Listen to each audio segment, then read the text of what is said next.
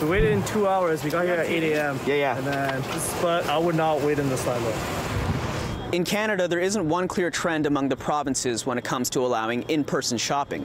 Manitoba is in code red and it only allows in-person sales for essential items. As of Boxing Day, Ontario has limited its open retailers only to specific categories. In British Columbia, though, all kinds of retailers are open, including this outlet mall in Richmond, where crowds have gathered for the Boxing Day sales. How long did you guys wait in line today?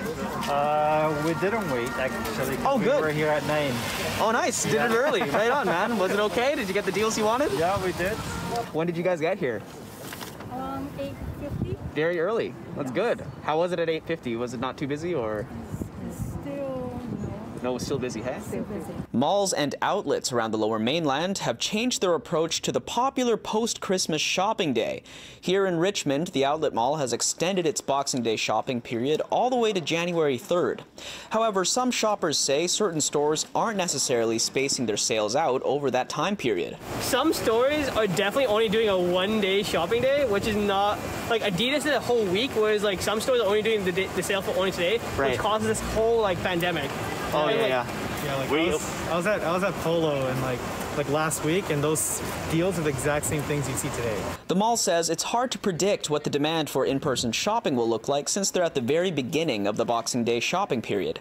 They say they've implemented a variety of safety protocols, including extended operating hours, in an effort to space out visitors.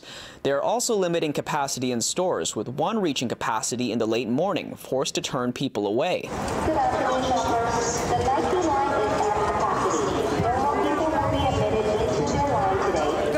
Previous year it wasn't like this. I'm I'm thinking that half of it is because of uh, the Boxing Day, and the other half is that people hasn't have fun for a long time because of COVID, and maybe that's why they're here. Right. That's what I'm thinking. Yeah, cool. Did you guys go to shop today at all? No, or- I'm gonna come back because you know it's like dangerous. Meanwhile, Metropolis at Metrotown were expecting high volumes of traffic for Boxing Day. Besides putting in the typical COVID safety measures, they say they've increased their Boxing Day hours and implemented a virtual lineup management system where visitors can reserve time slots from home or by scanning in-mall QR codes at participating retailers.